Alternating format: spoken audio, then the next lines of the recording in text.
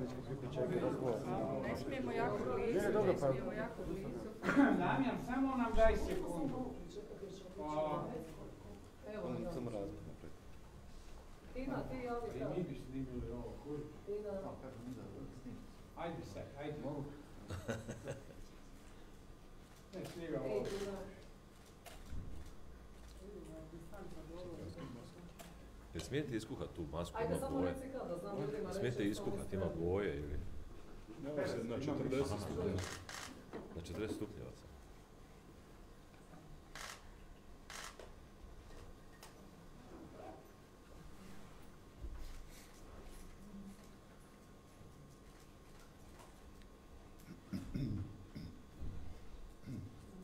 Na, evo minuticu, samo da Evo se minuticu. Evo jedan pogled tu. Ok, evo pričekat ću. Ok. Ma evo, neki minut. Ovo je to vam najavljeno. A evo pričekat ću.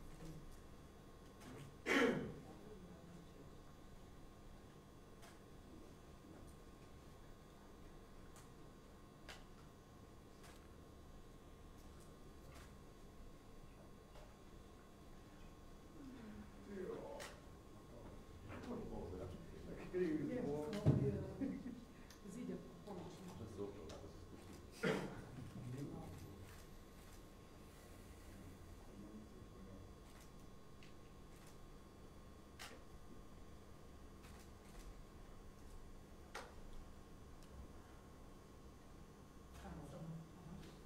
A evo, sad. Tu na fotku. Koliko ti još ovo traje, Tina? Javlja Čorić, jedno sat vremena. ja sam jednom sjedio tako, sjećaš? Na jednom, ja sam bio predsjednik na intervju u vlasti, jednom je imao presice čovjek imao to je pravo pola sata. A ne, neće pomoći tako. Neka po- počnite, ok. evo. Dobar dan svima, hvala vam što ste došli e, na konferenciju za medije Domovinskog pokreta. Danas ćemo govoriti a, o uvođenju eura. Govorit će doktorica Vesna Vučemilović i gospodin dok- profesor Ante Rončević, sukreatori gospodarskog e, programa Domovinskog pokreta, a zatim će i predsjednik Miroslav Škoro komentirati aktualnu političku situaciju i slobodno stavljati pitanja. Evo, izvolite. Lijepi pozdrav svima. Hvala vam što ste se odazvali našoj tiskovnoj konferenciji danas. Mi smo je sazvali zbog uvođenja eura, odnosno ulaska u ERM2, koji je dosta ovako pompozno najavljen i e, e, objavljen svekoliko i hrvatskoj javnosti prije par dana. E, Sazvali smo ovu tiskovnu jer smatramo da se radi o vrlo važnom pitanju koje zahtjeva da se povede jedna široka javna rasprava koja bi uključivala i akademsku zajednicu i nevladine organizacije, udruge civilnog društva, ali i političke stranke e, kako bi naši građani dobili što kvalitetniju informaciju e, što im uvođenje eura u principu donosi. E, Prema istraživanjima koja Ipsos radi svake godine, naši građani nemaju informacije i samo nekih 20 posto e, građana e, smatra da je dovoljno dobro informiran o tome što nama donosi uvođenje eura. E, Najviše se plaše toga kako će to utjecati na njihov životni standard. Znači, šta će se desiti sa plaćama, mirovinama, ako znamo da upravo preko 400 tisuća umirovljenika ima mirovinu manju od 2000 kuna, onda je njihov strah potpunosti opravdan. Ako to pretvorimo u eure, znači njihova mirovina je manja od 300 eura. E, Logično je i normalno zapitati se kako će čovjek živjeti sa manje od 300 eura primanja mjesečno. E, Svjesni smo da uvođenje eura naravno ima i svoje pozitivne strane i ne bježimo od toga, ali smatramo da se u javnosti nedovoljno govori o opasnostima, izazovima i negativnim aspektima uvođenja eura. Znači to je poglavito udar na životni standard kroz povećanje cijena. Navodi se da bi prosječno to povećanje cijena trebalo iznositi nekih 0,25%, ali svi znamo da je prosjek jedno, a da je stvarnost nešto drugo i da ne konzumiraju svi jednako sve ono što u taj prosjek ulazi. I tu se u stvari krije ta nekakva stvarna opasnost. Drugi aspekt, gubitak monetarnog suvereniteta i e, način na koji tečajna politika se više neće moći koristiti kao jedan od instrumenata, o čemu će nešto više reći profesor Rončević. A ja bih još samo htjela naglasiti jednu stvar koja je isto e, vrlo upitna i netransparentna trenutno, a odnosi se na pismo namjere koje su supotpisali e, guverner Vujčić i ministar Marić, a poslano je prošle godine u odgovarajuće europske institucije i u kojima se navodi da e, će se smanjiti udio države u imovini u određenih poduzeća. E, nije to zbog toga što mi smatramo da je država jako dobar gospodar. Znači, ne bježimo mi od privatizacije, ali želimo ukazati da treba vrlo transparentno reći koja su to poduzeća koja nisu od strateškog interesa, koja će ići u privatizaciju i kako će se ta privatizacija provoditi. Mislim da poučeni onim što se dešavalo uh, u privatizaciji koja je provedena 90. godina imamo razloga za zabrinutost i skepsu i uh, zbog toga smatramo da taj dio treba biti vrlo transparentan i da javnost treba biti upoznata ko i kako će tu privatizaciju provoditi.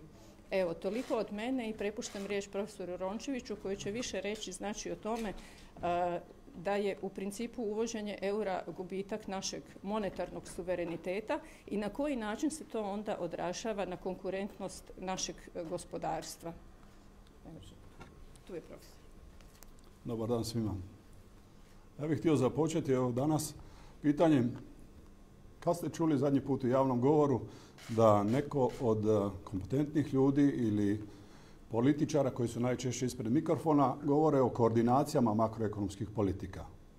Koordinacija makroekonomskih politika obuhvaćaju osim fiskalne politike, monetarnu politiku, ali i politiku realnog sektora, politiku vanjske trgovine. I na tom se prestalo raditi u Hrvatskoj, usudim se reći, još od 1996. godine.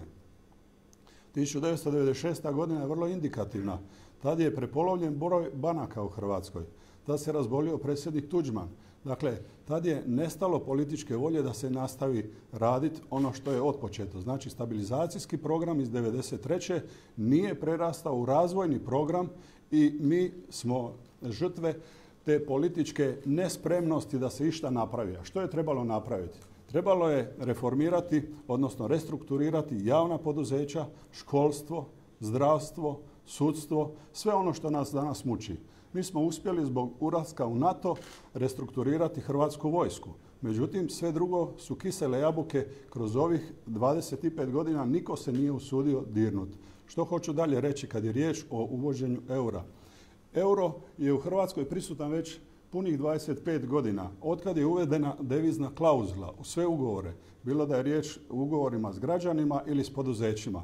Na taj način smo mi isključili bitne funkcije hrvatske kune i nastavit ćemo to ako uvedemo uskoro euro i s te strane mi oduvijek ispunjavamo kriterije.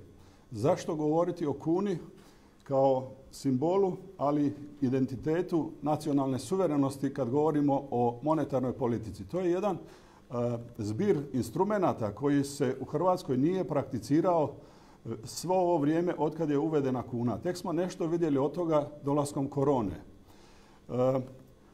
Ono što je rezultat takve politike i isključivanje monetarne politike u koordinaciji makroekonomskih politika, a da ne zaboravimo koji su to ciljevi. Ciljevi su rast BDP-a, ciljevi su puna zaposlenost, ciljevi su rast izvoza u najkraćem. E, to znači životni standard koji će biti primjeren ovom vremenu i prostoru u kojem živimo. Mi smo sada na 60% onoga gdje su Slovenci, a bili smo do 90. godine tu negdje rame uz rame. Dakle, Slovenci su iskoristili ono što su imali u svojim rukama, a to je tolar. Tek onda kad su izgradili kapacitete da se mogu razvijati, njima je euro došao tako dobro da oni sada sa svojim potencijalima koriste euro. Jednako tako Njemačka. Mi ovdje svodimo priču o konverziji e, kune u euro kao da smo Njemačka. Njemačka marka konvertirana u euro je bilo lako izvesti. Zašto? Zato što je njemačko gospodarstvo izuzetno razvijeno i najrazvijenije u Europskoj uniji. Dakle, mi nismo Njemačka, oni su na vrhu, a mi smo na dnu. Nama treba kuna, barem sljedećih deset godina, da bi iskoristili ono što nam pruža, što nam pružaju instrumenti monetarne politike. A to znači da bi trebalo prilagoditi e, tečaj hrvatske kune euru na način da se otpušta barem 2% svake godine, svake godine. Ali to nije samo sebi svrha. Svrha je da Hrvatska jasno definira svoje strateške dugoročne ciljeve i da se iz toga vidi jasno koje su naše industrijske politike, da se iz toga jasno vidi koje su naše regionalne politike, da se u tome jasno vidi kako ćemo restrukturirati javni sektor, a onda fiskalna politika i monetarna politika bit će u funkciji svega toga. Dakle, Hrvatskoj je potrebnije puno toga ispred napraviti, a tek onda uvesti kunu. Usudim se reći, mi možemo uvesti kunu, pardon, uvesti euro, lapsus, uvesti euro kroz nekih deseta godina da bi mi prešli barem prosjek Europske unije. Ovo što mi sad dobivamo ulaskom u ovaj mehanizam i to što su puna usta političara 10 plus 12 milijardi eura, to samo potvrđuje da smo mi Kosovo. Na ljestvici uspješnih mi smo na dnu. A da bi iz toga izišli moramo početi aktivno se baviti makroekonomskim politikama, jasno definirati ciljeve, jasno definirati industrijske politike, jasno odrediti što je potrebno napraviti u jav- javnoj upravi, jasno odrediti i naš teritorijalni ustroj i onda dolazi fino podešavanje kroz e, fiskalnu i monetarnu politiku. Evo za sad toliko. Hvala profesoru Rončeviću, profesorici Vučemilović, gospodin Miroslav Škoro. Može. Dobar dan svima. Hvala vam što ste došli. Čuli ste um, naš gospodarski tim koji je govorio o onome što je u stvari pravi problem. Jedan od pravih problema. Mi živimo u vremenu i prostoru u kojemu meni sve češće pada na um onaj uh, američki film Tko je ovdje lud, jer se stalno događa da neko ide šumom, a neko drumom. Postoje problemi u ovoj zemlji koji su e, daleko važniji i daleko veći u krajnjoj liniji i u kratkoročnom smislu i koji se događaju svima nama pred očima. Međutim, eto, u prvih sedam dana ključni potez a, stranke koja je pobjedila na izborima, koja će vjerojatno formirati novu vladu, je da inaugurira uvođenje eura. To bitno neće djelovati niti na gospodarske cikluse, niti na gospodarstvo Republike Hrvatske. Svi smo mi bili svjedoci toga da, barem većina u stvari nas starijih, što se dogodilo kada se prelazilo sa jugodinara na e, hrvatske dinare, kada smo hrvatske dinare e, mijenjali u hrvatske kune, kada je, sjetit ćete se, SDP napustio sabornicu kod izglasavanja hrvatske valute. A, Znači, evo, sada imamo situaciju da ćemo napraviti uistinu isključivo jedino samo konverziju i stvoriti hrvatskim građanima određene probleme. Međutim, evo, tako je kako je. E, Čuli ste naš prijedlog, mi smatramo u konačnici poučeni i nekakvim rješenjima u svijetu, u krajnjoj liniji i u Švedskoj koju smo u zadnje vrijeme toliko spominjali, da bi trebalo ipak pitati građane i vratiti se na ono ishodično pitanje svih pitanja koliko omogućiti građanima Republike Hrvatske i njenim državljanima da sudjeluje u odlučivanju, da se poštivaju odluke birača i da se i po ovom pitanju, ako bude prigode, raspiše referendum, zašto će se domovinski pokret zalagati u sljedećem razdoblju. Hvala na pitanje. Evo mogu ja prvo početi. Dakle, gospodine Škova, pitanje za vas, odnosno dva pitanja. Prvo, zašto ste odbili sastanak s premijerom? A, I drugo, hoćete li kao treća snaga u parlamentu osobno vi biti potpredsjednik Sabora? Kao što rekao, dakle, baba šumom, djeda drumom. Mi govorimo o euru, a ključno pitanje u zemlji, ne samo vaše, nemojte me krivo shvatiti, želite. Naravno da imate pravo pitati, ali ovaj, uvijek postoji nešto što je meritum svake situacije. Dakle, e, pričamo o ovome što je bitno za građane Hrvatske, ali najvažnija stvar u hrvatskom medijskom prostoru je kavica ili kava sa gospodinom e, Andrejem Plenkovićem. Dobro, možda ste na toj kavici mogli i o euru razgovarati, pošto kažete da je to prva stvar koju je Plenković inaugurirao, a po vama ne bi. Da, pa postoje načini kako se protokoliraju sastanci, kako se oni vode, ima formalno i neformalno. Nazvat nekoga privatno telefonom i tražiti neformalni razgovor je naravno dobrodošlo. Dakle, ukratko, forma, sadržaj. Sadržajno, apsolutno razgovarati treba i razgovarati moramo. Forma, mislim da ovo nije način da se tako komunicira. Uvijek se može naći neko s nekim na kavi, ali mislim da bi bilo dobro to protokolirati, ozbiljna je situacija. Ne možemo baš ležerno sjesti pa časkati o euru, mislim da to e, nije način. Od toga ja ne pijem kavu, ja pijem čaj. Dobro, možda svak. A što se tiče potpredsjednika Sabora, Pa dobro, to je još jedna, evo ja ću dopustiti hrvatskim medijima da do samog konstituiranja Sabora imaju prigodu još malo ovaj, kalkulirati. E, vidjet ćemo što će odlučiti ljudi koji kreiraju politiku u Hrvatskoj. Dakle, hoće li biti tri, četiri, pet potpredsjednika. Kad nas budu pozvali na ozbiljan razgovor, mi ćemo ozbiljno tome pristupiti.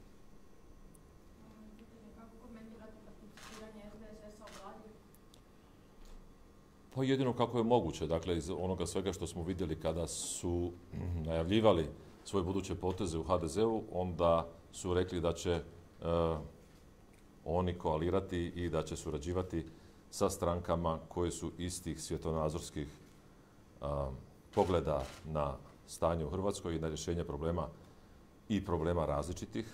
Dakle, ja bih rekao, očito se oni prepoznaju eto, u suradnji sa SDSS-om koji je napravio ratni zločinac Goran Hadžić. A, mislim da je to samo nastavak onoga što su radili do sada i ispunjavaju jedno od svojih predizbornih a, obećanja, to je kontinuitet vladavine koja će biti i dalje sa a, SDSS-om i nešto malo žetončića.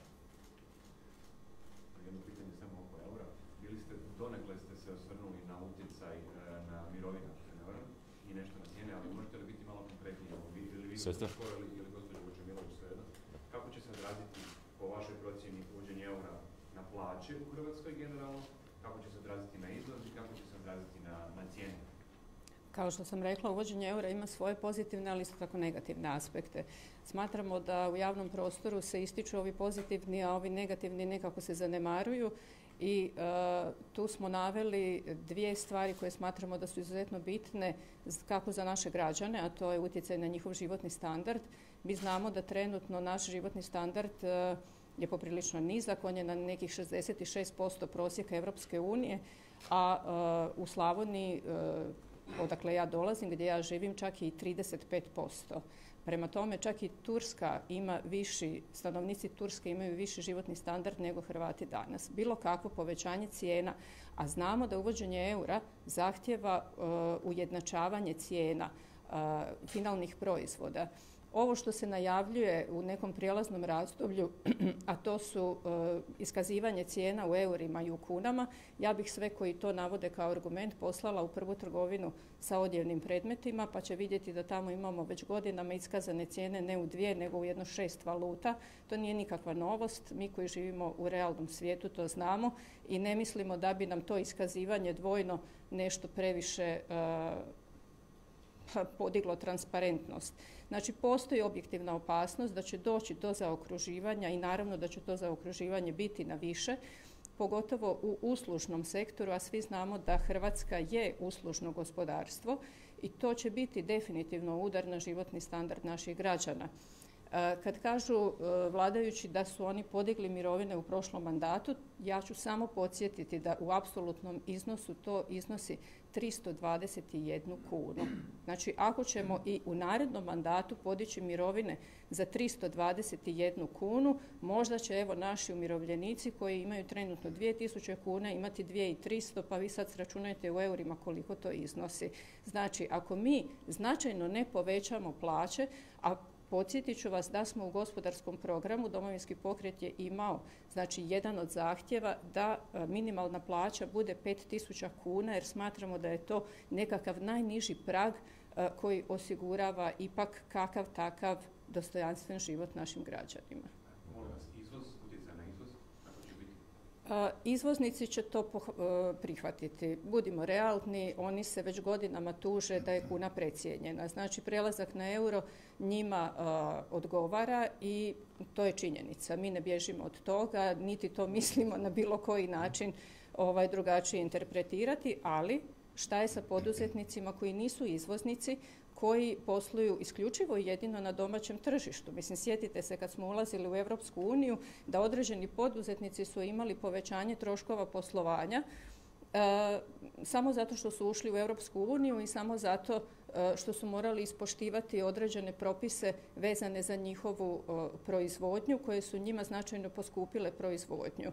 Znači treba vidjeti kako će se to odraziti ne samo na izvoznike koji su vrlo zdrav i bitan e, element hrvatskog gospodarstva, ali isto tako i na one e, poduzetnike i one gospodarstvenike koji posluju isključivo i jedino na domaćem tržištu i tu mislim na cijeli niz ovih malih i srednjih poduzetnika, e, obrtnika gdje bi mogli imati značajno povećanje troškova. Ako smijem samo dodati, ovaj, s obzirom da je doktorica Vučemilović profesorica, ukratko, kako će se to odraziti na plaće i na mirovine? Neće biti u kunama, nego će biti u eurima. Biće jednako male. Dakle, to je jedna stvar. Da bi se podizalo vrijednost bilo kakve mirovine ili bilo kakve plaće, potrebno je podići i razinu ovaj, e, gospodarske aktivnosti i prihoda od nje. A što se tiče samog tečaja, kako će on djelovati, odnosno eura, kako će djelovati, nema više, znači, e, nema više trgovine devizama, nema više onoga što se zove valutna klauzula kod e, ljudi koji su digli kredite. Država to može vrlo lako riješiti. Mislim, meni nije jasno zbog čega uopće u suverenoj državi koja ima svoju valutu imamo kredite u švicarcima i ne znam, e, eurima ili bilo kojoj drugoj valuti. Kad sam živio u Americi, svi su krediti bili u dolarima. Nije bilo nijednog kredita niti u dinarima, niti u kunama. A što se tiče samog pogodovanja, cijela ova priča je u stvari zbog pogodovanja uvoznicima. Uvoznici su ti koji su morali strepiti od tečaja. Izvoznici su ti koji ovaj, su imali zagarantiranu priču, njima je samo bilo bitno da kad kupuju sirovine da imaju zagarantiranu nekakvu vrijednost eura. Tako da u osnovi čini mi se da jednostavno monetarno gubimo suverenitet i srljamo iz nekog razloga u uvođenje eura. Neće se dogoditi ništa. Samo će nekome to pogodati, opet će imati neke bogataše nove, naravno. Evo imam još jedno pitanje. Vladajući su danas poručili da bi željeli e, konstruktivnu oporbu, ne destruktivnu. Kako ćete vi biti oporba? Vrlo konstruktivna. Dakle, ja mislim od kako sam se pojavio na ovom političkom nebu, da sam vrlo konstruktivan i da pokušavam uvijek e, ukazati na problem, ali ne samo ukazati, nego na neki način dati i nekakvo rješenje. Dakle, upravo ćemo na taj način djelovati. Postoje politike za koje se mi zalažemo, one proizlaze iz želje za većim suverenitetom, za boljim životom hrvatskih građana i sve one inicijative koje će ići prema tome imat će punu podršku domovinskog pokreta, a zna se zašto se mi zalažemo od promjene izbornog zakona, od referenduma, od pogodovanja i stvaranja bolje poduzetničke klime, pa nadalje. Dakle, kad se to bude našlo na stolu i kada budemo imali konstruktivne predloge, mi ćemo ih uvijek podržati, da pače. Evo kada spominjete referendum, dakle ili imate već plan kad biste išli u referendum potrebno je i puno potpisa, znamo kako su prošli referendumi, završili, vlada je rekla da nema dovoljno potpisa, neki su bili nečitki navodno. Dakle, imate li vi neki konkretan plan ili samo najavljujete? Da, ili samo pričam. Da, ili samo pričam. Ne, ja bih volio da mi živimo u zemlji u kojoj je to puno jednostavnije za organizirati. E, tu samo treba vidjeti hoćemo li ići na to da prikupljamo potpise za majku svih referenduma, a to je referendum o referendumu, pa u krajnjoj liniji da shvatimo i da ovaj, e, kao ljudi, građani možemo djelovati, ali da nam treba malo prostora, dakle da utvrdimo koliko je stvarno birača u Republici Hrvatskoj, jeli, odnosno koliko može birati, da produžimo vrijeme biranja, skupljanja tih potpisa barem na mjesec dana i da smanjimo taj cenzus koji je sada jako velik, a rastezljiv je 10% na šta? Znači, to je isto kao kad oni kažu kod eura da će cijene u prosjeku, kako su rekli, 0,25% e, doživjeti u prosjeku. Što to znači? To znači da postoje neke usluge koje nikome ne trebaju. Jel? To je kao ono, jedan jede kupus, drugi jede meso, pa u prosjeku jedu sarmu. Dakle, da, 0,25%, ali mislim da će tih 0,25% u stvari biti prevaljeno na hrvatske građane, jer ono krucijalno, hrana e, i usluge koje su bitne za svakodnevni život, će poskupiti daleko više nego što će poskupiti neke usluge koje možda će poskupiti 0,0 na petu decimalu, pa će to biti u konačnici 0,25%. Statistika je čudna stvar. Referendum apsolutno da, zalagat ćemo se, ali ćemo pokušati kao i sve što smo radili do sada napraviti to tako da bude kvalitetno pripremljeno i da bude učinkovito. Evo ga, nema više pitanja, hvala vam što ste došli. Hvala lijepo.